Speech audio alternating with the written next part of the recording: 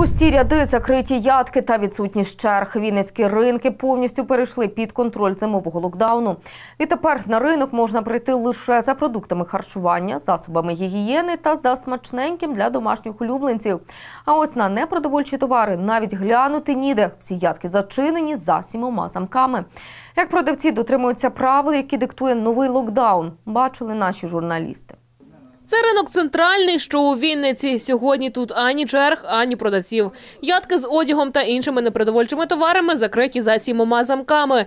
Де інде можна зустріти продавців продуктів харчування. Ті ж не на камеру розповідають, покупців майже немає, а на роботу доводиться виходити, аби просто не сидіти вдома.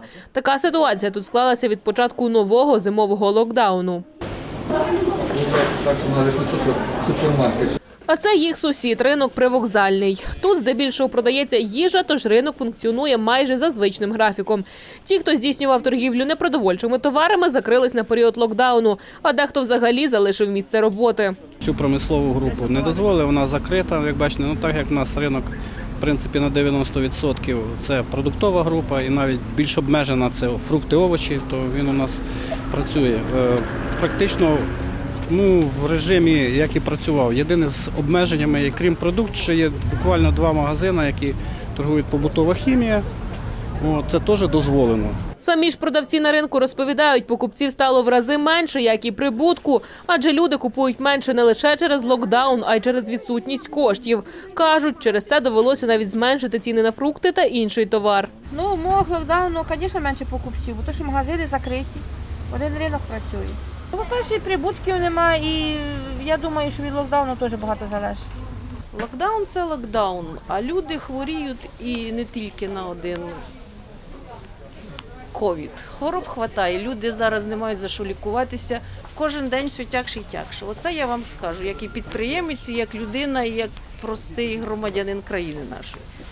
Попри те, що ринок хоч і працює, але обуренню деяких продавців немає меж.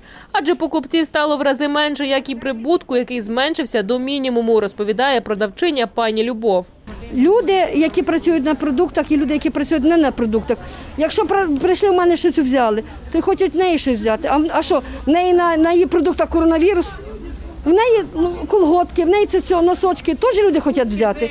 Якщо прийшли на базар, вони хочуть взяти. Ну ніхто ж не скаже, що як прийшли в мене взяли рибу, а якщо в неї візьмуть колготи чи носки, це вже все. Це вже не можна. Це неправда. Має бути так, як, як, як по- по-чоловічески. Покупці ж кажуть, ходять на ринок, як і раніше, та дозволяти почали собі таки менше. Ну жити треба за щось. Те, що дають, то що можна купувати, купую. Я положительно, нормально. Треба, то треба. Тим часом лікарі нагадують, аби розірвати ланцюг передачі хвороби, варто уникати контактів з незнайомими людьми, дотримуватися соціальної дистанції та слідкувати за гігієною рук. Анастасія Антонюк, Ірина Гойнік. Новини. Правда тут. Дистанційна робота стає все більш популярною серед українців. Нещодавно Київ потрапив у топ кращих міст світу для віддаленої роботи. Столиця посіла 20-ту сходинку з 50 міст. Е, За думкою експертів, Київ має все необхідне для віддаленої роботи, а саме гарний доступ до інтернету і коворкінг. Чому українці почали віддавати перевагу праці на дому і чи є мінуси в роботі такого формату? Дізнавалась Тетяна Остролуцька. Свій робочий день Марія розпочинає не виходячи з дому. Ноутбук та телефон з виходом в інтернет. Це все, що потрібно дівчині для заробітку. За професією вона маркетолог. Раніше Марія працювала в офісі. Втім, графік з 9 до 6 почав заганяти дівчину в рамки. Тому й вирішила час заробляти гроші вдома. Есть такой стереотип у людей, что если ты не сидишь в ес- если тебя не видно, то, всего, ты бездельничаешь. Ну, то есть для меня это глупо, и я в- на всех работах, в которых я работала, я всегда хотела это, этот стереотип, его истребить. Перехід на дистанційну роботу став новим трендом на ринку праці, запевняють експерти. 80% компаній почали наймати робітників на віддалену роботу. Заробляти з дому тепер мають змогу не тільки підлеглі, а й керівники та топ-менеджери. IT-сектор позволял себе набирать, допустим, э, линейный персонал на удаленке. то вот сейчас уже такой тренд, что уже набирают и финансовых директоров, и операционных директоров тоже на удаленке. Не треба добиратись до роботи, можливість подорожувати та не бути прив'язаним до певного робочого місця це все плюси для працівників. Задоволеними у фінансовому плані залишаються і власники компаній, адже їм не треба винаймати офіси. Для работодателя что приятно? Это позволило отказаться от части арендованных площадей. Это капитально уменьшило расходы на э, эту статью, потому что во многих компаниях э, аренда офиса занимает большой кусок бюджета. Втім, дистанційна праця не всім до душі. Наталя, журналістка, вона працює в офісі і переходити на віддалену роботу не збирається. Каже, буде не вистачати живого спілкування та й налаштуватись на робочий процес їй вдома складно. Дома ты можешь одеть халат и звонить, Если у тебя такая, да, к примеру, работа, или что-то выполнять э, по задачам. И, и это тебя как-то расслабляет. э, Ты как э, наполовину в работе, наполовину все-таки на отдыхе. Культура немножко размывается, конечно, да, та, которая выстраивалась в компании, которая все-таки за счет коммуникаций коллег внутри офиса выстраивалась. Это вот единственный момент, который действительно вот, э, пугает э, руководителей компании. Зарплата робітника на віддаленій роботі не відрізняється від тієї, що в офісі запевняють експерти. Найголовніше результат. Контролювати робочий процес допомагають спеціальні програми, де чітко проставлені задачі. Тільки відповідальна людина може працювати онлайн, вважає Марія. Вона вже має свою команду і спеціалістів наймає саме за цим критерієм. Мне вообще не интересно, пьют они в это время чай, либо смотрят параллельно телевизор. То есть кто в каком состоянии работает, это право человека. Мне главное, чтобы наши цели, которые мы ставим на месяц, а, и те задачи, которые есть у человека на день, на неделю, на месяц, они были, собственно, выполнены. Тим, хто все ж таки вирішив працювати дистанційно, експерти радять перевіряти фірми заздалегідь, щоб не потрапити на гачок шахраїв. Зробити це можна, зайшовши на сайти з відгуками про роботу тої чи іншої фірми. Тетяна Остролуцька, Руслан Онищенко, Дмитро Боднюк. Новини Правда тут. Історії, що надихають. Відтепер Олена Зеленська публікуватиме створені за її ініціативою відео про людей, які руйнують бар'єри. Із соціальних роликів до глядачів промовлятимуть люди, які мають певні фізичні вади. Вони поділяться фактами зі свого життя, щоб розвіяти стереотипи, що нав'язало суспільство. Першу безбар'єрну історію вже можна подивитись в мережі. Про що вона? Дивіться далі. Щодня тисячі українців стикаються з бар'єрами. Вони відчувають складнощі в переміщенні, користуванні послугами, роботі та спілкуванні. Але є люди, які руйнують ці бар'єри. Перша безбар'єрна історія присвячена людям із порушенням зору. В відео розказують про музей у темряві, що знаходиться в Києві. Унікальність цього місця в тому, що там працюють незрячі. Вони проводять екскурсії в суцільній темряві. Ми сформулювали для себе таку місію нашого проекту. Ми руйнуємо бар'єри у спілкуванні між зрячими і незрячими і працевлаштовуємо незрячих. Ми працюємо вже більше трьох років. У нас в команді вже шість незрячих гідів, які проводять екскурсії для більше 20 тисяч людей. Ініціатори проекту впевнені, робота гідом в музеї допомогла багатьом людям віднайти жагу до життя та відновила комунікацію між незрячими та тими, хто бачить. Є багато цікавих е, подій, е, речей в житті, яким можна радіти і насолоджуватись життям. Прогулянки зі зрячими людьми в нашому музеї це такий легкий, ненав'язливий спосіб донести людям і показати людям життя незрячих. Окрім виставок у музеї, гіди проводять екскурсії Києвом. Відвідувач одягає маску, бере тростину і відправляється відчувати місто разом із провідником. Головна задача цих роликів розвіяти стереотипи, а ще підняти нагальні питання, що потребують вирішення. Нестача озвучених світлофорів, адаптованих переходів та нерівність тротуарів, що здебільшого вкриті ямами. Це ті проблеми, з якими кожного дня зіштовхуються люди із порушенням зору. Я дуже хочу познайомити вас із цими людьми та компаніями. Сподіваюся, що їхній приклад надихне кожного з нас втілювати такі зміни в нашому житті та в громадах, які робили б світ довкола кращим. Ці відео історії будуть виходити щопонеділка упродовж шести тижнів. Переглянути їх можна на сторінці першої леді. Тетяна Остролуцька, новини Правда тут. Я годую держава, вона мене знищує. Вінницькі підприємці сьогодні вкотре вийшли мітингувати під стіни облдержадміністрації. Учасники руху вимагають не забороняти їм працювати у період карантину та скасувати низку інших законодавчих ініціатив, зокрема проведення касових апаратів. Також зачепили проблему збільшення тарифів. На мітингу була і наша знімальна група. Більше дивіться про це в наступному сюжеті. Під стінами Вінницької ОДА поступово починають збиратися підприємці. Супроводжує їх пісня Скрябіна із символічною назвою Нас кинули. Центрі міста ніде яблуку впасти. Площу перед облдержадміністрацією заполонили ФОПи. Анонсований як мирний мітинг, захід одразу перейшов у сутичку між поліціянтами, підприємцями та членами праворадикальної громадської організації, які звинувачували організатора акції «Сейв ФОП» у співпраці з проросійськими політиками. Чого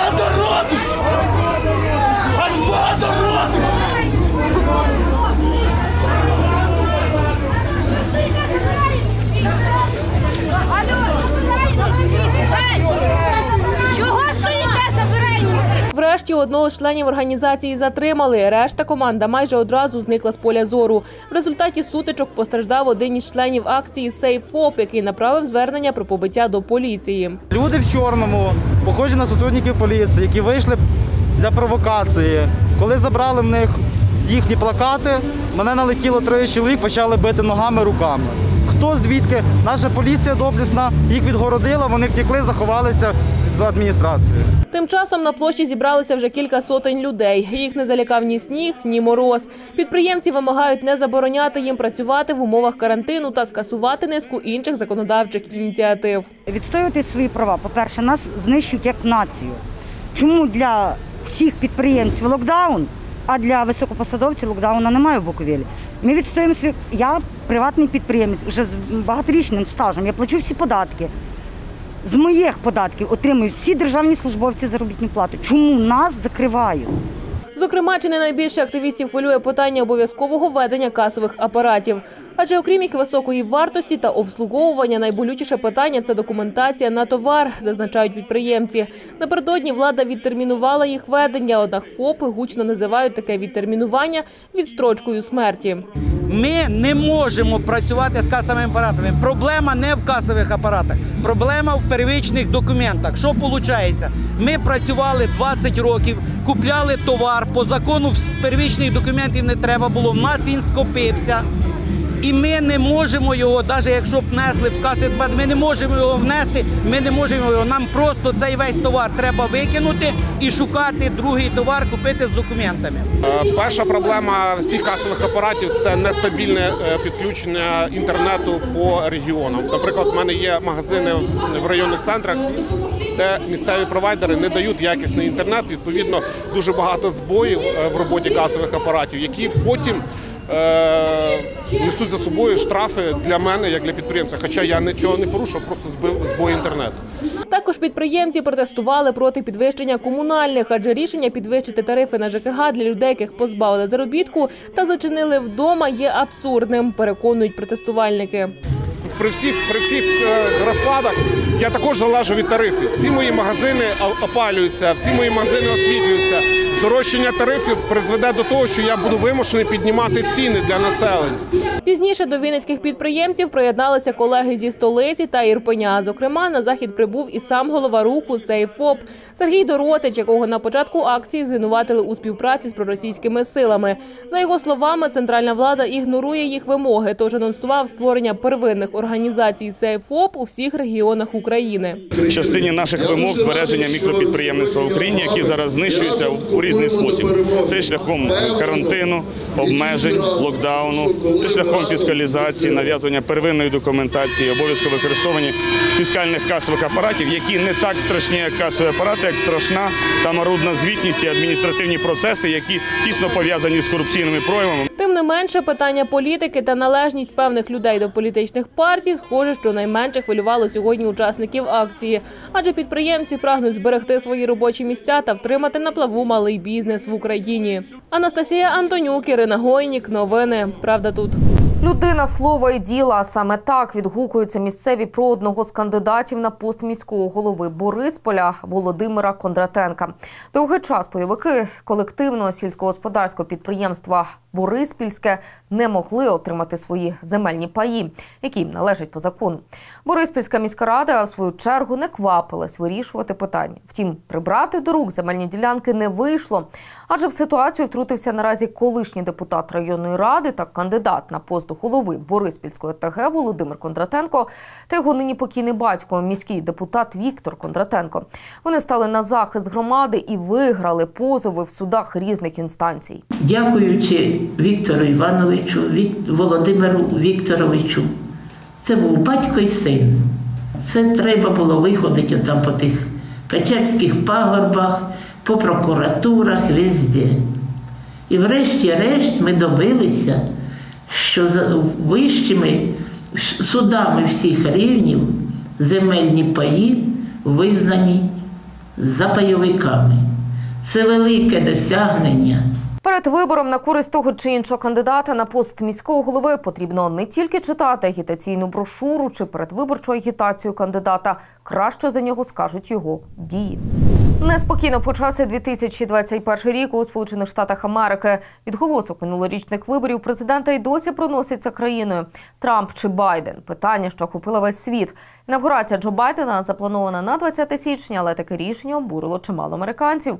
Вчора Палата представників Конгресу США підтримала проєкт резолюції про імпічмент Дональда Трампа за статтею підбурювання до заколоту. Це вже другий раз, коли Трампа представляють до імпічменту. Який сенс в цьому, якщо вже п'ять днів він стане колишнім президентом? Дивіться в сюжеті.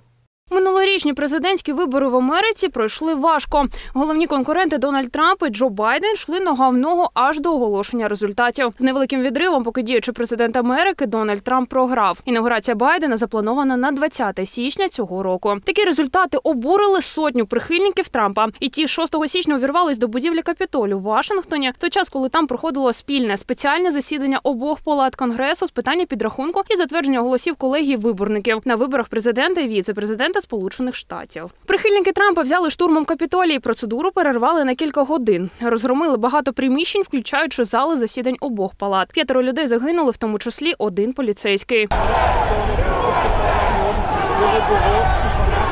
Палата представників конгресу звинувачує Дональда Трампа у підбурюванні до заколоту. Конгресмени стверджують, що президент Трамп поставив під серйозну загрозу безпеку Сполучених Штатів і урядові інститути. Наразі йому загрожує імпічмент. Соціальна мережа Twitter заблокувала аккаунт президента. Тож Трамп опублікував відеозвернення на офіційній сторінці Білого Дому. Ніхто з моїх справжніх прихильників не може бути причетним до політичного насильства. Жоден мій справжній прихильник не може підтримувати неповагу до правоохоронних органів або нашого великого американського прапора. Жоден зі справжніх моїх прихильників не може ображати своїх співгромадян. Наразі конгресмени провели голосування та обсудили порядок проведення дебатів про імпічмент. За імпічмент Трампа проголосували 232 конгресмени. Проти імпічменту 197. У свою чергу новообраний президент США Джо Байден теж висловився. Сьогодні в двопартійному голосуванні палата проголосувала за імпічмент та притягнення до відповідальності президента Трампа. Тепер процес продовжиться в Сенаті, і я сподіваюся, що вони впораються зі своїми конституційними обов'язками щодо імпічменту, одночасно працюючи над іншими нагальними справами цієї країни. 13 січня Палата представників Конгресу США оголосила імпічмент президенту США Дональду Трампу. Це вже другий імпічмент на рахунку 45-го президента. Саме його вважають найсильнішим з чотирьох імпічментів, що були в американській історії. Скоріш за все, сенатори продовжать розгляд справи про імпічмент і після 20 січня, коли запланована інавгурація Байдена. Адже до 19 січня оголошено канікули. А лідер більшості Міч Маконел відмовився скликати республіканців раніше. Така рішучість довести справу до кінця обґрунтована тим, що у разі отримання імпічменту Трамп більше не зможе займати ключові посади на політичній арені США та в майбутньому балотуватись на пост президента Сполучених Штатів. Аліна Герюшта. Новини правда тут.